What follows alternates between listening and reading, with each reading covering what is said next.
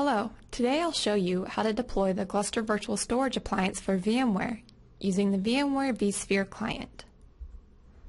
The Virtual Storage Appliance for VMware packages the Gluster FS file system in a virtual machine container, optimized for ease of use with little to no configuration required.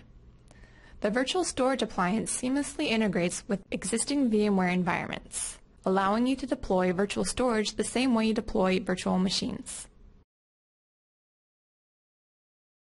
On this slide, you'll see the anatomy of a Gluster storage pool running on-premise in a VMware environment.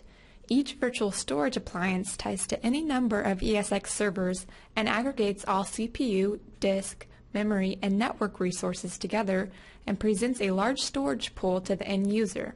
And you can scale out capacity and performance as needed. Now let's move on to deployment. Once you have registered and downloaded the virtual storage appliance for VMware, you will need to log into the VMware vSphere client.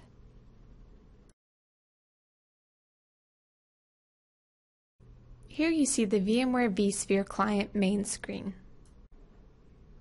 From the top navigation, choose File, Deploy OVF Template.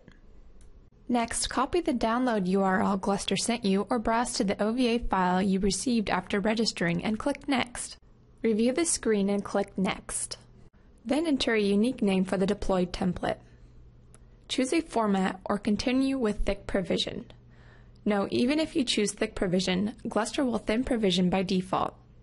Finally, review and click Finish. After a few minutes have passed, you'll receive a message that your deployment was completed successfully. Once complete, navigate to the Virtual Machines tab to configure the virtual storage appliance.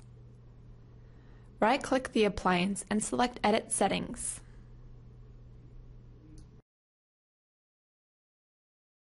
In the Hardware tab, click Add. Select Hard Disk and click Next.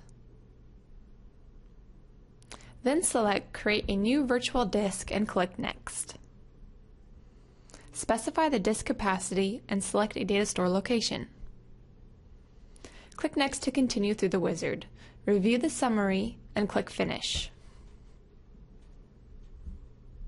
Here you'll see the new virtual disk appear in the list.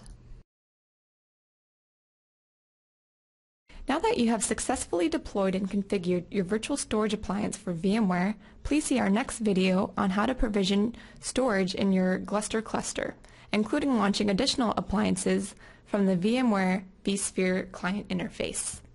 Thank you.